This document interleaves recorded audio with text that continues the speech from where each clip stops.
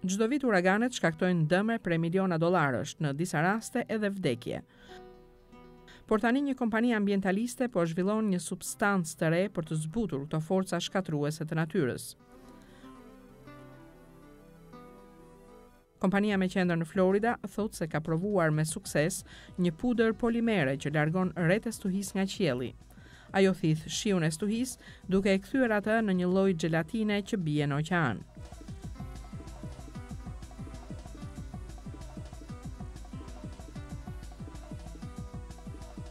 Ky prodhim që është ende në fazat e para ka ngjallur interes të madh në vendet që preken nga uraganet dhe po zhvillohet tani me shpresën se një ditë do të shmangë pasojat e tyre shkatërruese. Në muajt e nxehtë të verës, bota ka nevojë për sasi të mëdha energjie për të mbajtur qytetet të freskëta.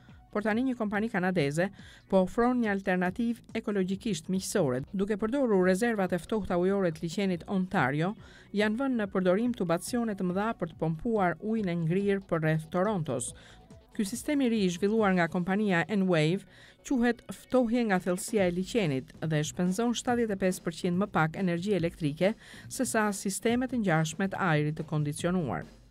Ftohja nga thellësia e liqenit eliminon shfrytëzimin e mbi 61 megavatësh elektriciteti që si rrjedhim pakëson me 79.000 ton çlirimin e dioksidit të karbonit çdo vit.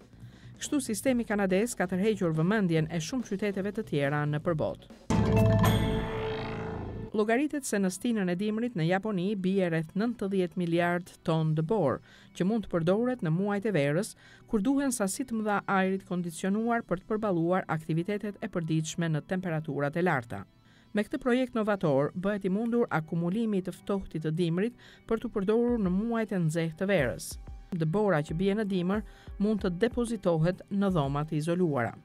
Ky sistem është duke u përdorur në fermat industriale ku rreth 50 ton dëborë mban drithërat dhe prodhime të tjera bujqësore në temperatura konstante. Ky projekt, që është në fazat e para të zhvillimit, është një alternativë mjaft efikase për vendet me reshje të mëdha dëbore, që të kursejnë miliona dollarë nga kostoja e energjisë dhe të mbajnë të ulët çmimin e gazit karbonik.